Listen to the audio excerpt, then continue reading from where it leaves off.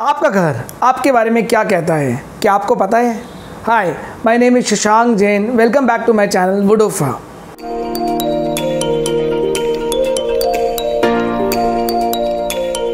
आज मैं आपको इस वीडियो में एंट्री के बारे में बताने वाला हूँ कि आपके घर की एंट्री कैसी हो। How can you make your entry more beautiful your for your more beautiful and more attractive हम अक्सर कहते हैं, नहीं नहीं, अगर आपने मेरा चैनल सब्सक्राइब नहीं करा है तो सब्सक्राइब कर लीजिए, तभी बताऊँगा आगे। Please hit the subscribe button and do not forget the bell notification icon there उसको प्रेस करना बिल्कुल मत भूलिएगा। चलो, अब बताता हूँ कि हम अक्सर कहते हैं कि first impression is our last impression कि जो सिमिलरली आपके घर के साथ भी वैसा ही होता है तो जो घर की एंट्री है, वो आपके घर का फ़र्स्ट इंप्रेशन है।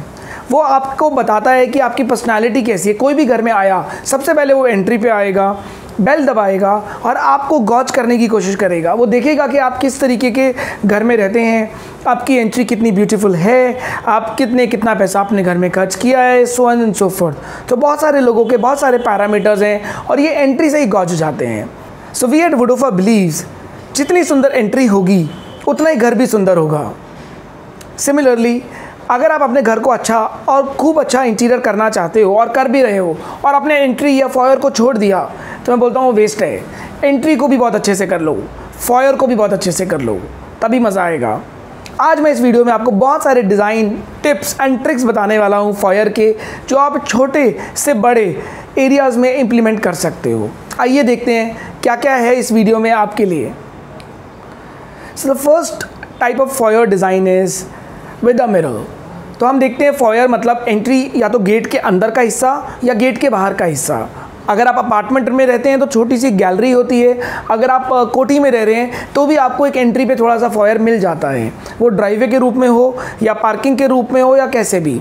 तो वहाँ पर आप एक छोटा सा कंसोल और एक स्टेटमेंट मिरर लगा सकते हैं। So this is first kind of foyer जैसे कि आप अभी मेरे वीडियो में देख रहे हैं। बहुत सारे पिक्चर्स में आपको देखने को मिलेगा। मैं आपको दिखा रहा हूँ कि जिसमें बहुत सारे mirrors type of mirrors statement mirrors लगाए जा सकते हैं and may be put up a console if needed और पुट अप मिरर्स तो मिरर्स तो लगा ही लो, और कंसोल लगाना है तो एडिशनल है, अगर जंगा बच रही है लगा लो, नहीं लगाना है मिरर्स तो लगा ही सकते हो. This is first kind of foyer design with a mirror second type of foyer design is with a storage हम इंडिया में हैं, और हमें स्टोरेज की तो बहुत ज़रूरत है. So we are finicky about storage right हमें बहुत पसंद है. तो अगर आपके पास एंट्री फॉयर में जगह है और आपको 12 इंचज़ 14 इंचज़ या 16 इंचज़ की डेप्थ मिल पा रही है तो you can create a storage cabinet there it can be a shoe rack या तो शू रैक के रूप में यूज़ हो सकती है, या एक न्यूज़पेपर रैक के रूप में यूज़ हो सकती है, या कुछ और. तो आप उस तरीके से उसको एक स्टोरेज रैक टाइप फॉर्मेट बना सकते हो. ऊपर मिरर लगाओ, मत लगाओ वॉलपेपर्स लगाओ, मत लगाओ डज नॉट मैटर नीचे एक अच्छा सा स्टाइलिश सा स्टोरेज बना लिया तो वो भी एक अच्छी एंट्री की फील दे देगा. आप पिक्चर्स में बहुत सारे मैं आपको दिखा रहा हूँ तो आपको बहुत सारे आइडियाज़ मिल जाएँगे किस तरीके के फायर एरियाज़ हो सकते हैं। The third kind of tip is अगर आप सिंपल लोग हैं और आपको बहुत ज़्यादा फैंसी पसंद नहीं है तो you can create good art pieces may be good paintings may be good frames तो उसको भी आप फायर पे लगा सकते हो मे बी कंसोल रखो या ना रखो, नीचे कुछ स्टोरेज बनाओ या ना बनाओ डज नॉट मैटर उस पूरी वॉल को पेंटिंग से आर्ट पीसेस से या कुछ फ़ोटो फ्रेम से सजाया जा सकता है। तो एंट्री करते ही वो बहुत सुंदर लगेगा और आपको एक बहुत ही ग्रैंडुलर फील एक अच्छी फील एक आर्ट पीस की फील देने लगेगा। तो आपकी सिंप्लिसिटी भी वहीं की वहीं बरकरार रहेगी और आपका घर भी सुंदर लग्जरियस लग सकता है।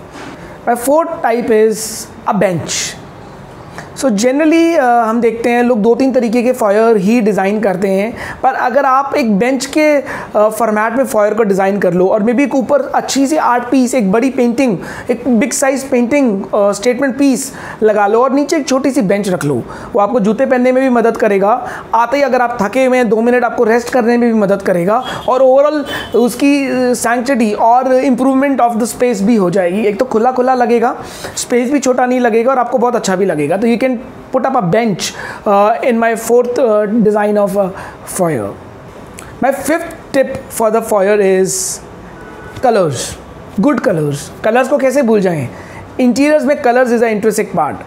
सो so, अगर आप सिंगल टोन या मोनोटोन्स या डबल टोन्स यूज़ करना चाहते हैं तो आप उसमें एक मेटल का एक्सेंट डाल सकते हैं एक अच्छा सा कंसोल बना लीजिए मे बी एक सिंगल कलर में उसको पेंट करा लीजिए and may be add some metal के accents may be a strip may be a profile may be a metal handle और कुछ भी।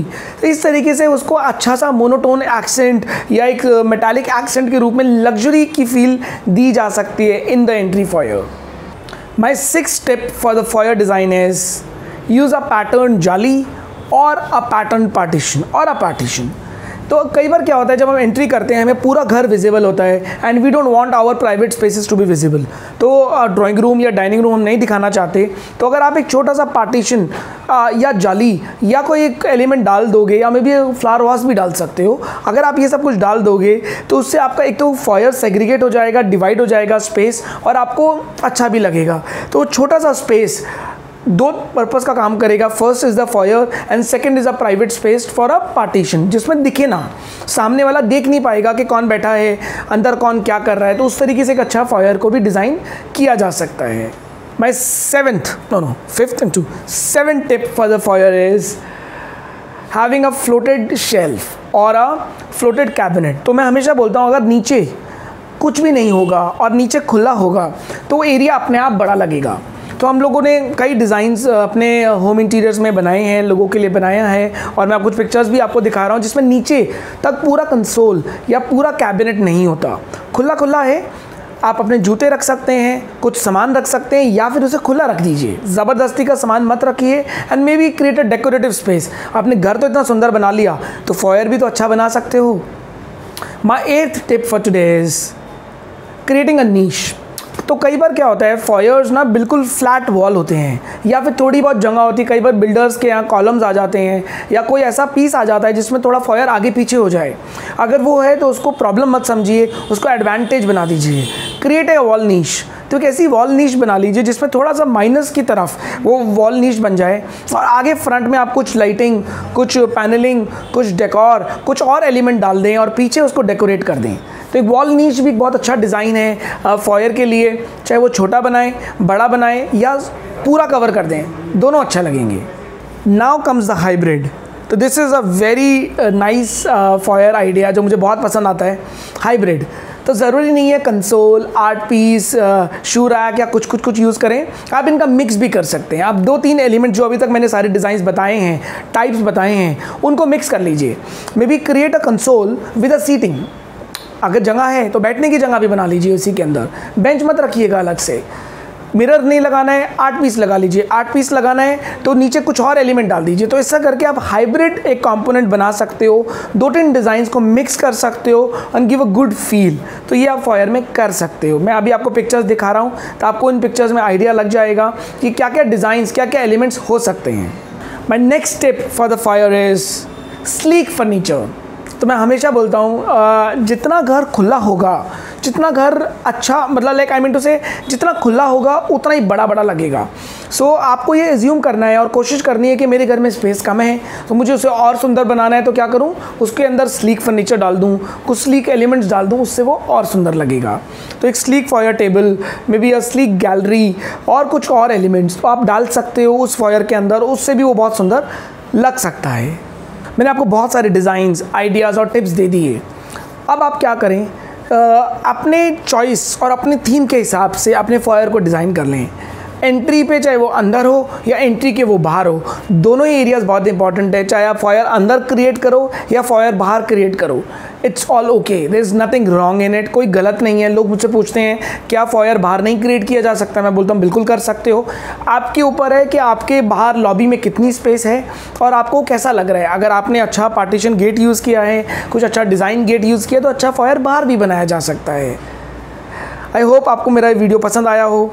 अगर ये वीडियो पसंद आया है लाइक्स करना बिल्कुल मत भूलिए। कमेंट में ज़रूर लिखिए। अगर आप कोई भी आइडिया या कोई भी टिप यूज़ करने वाले हैं अपने घर में और मुझे शेयर करते रहिए।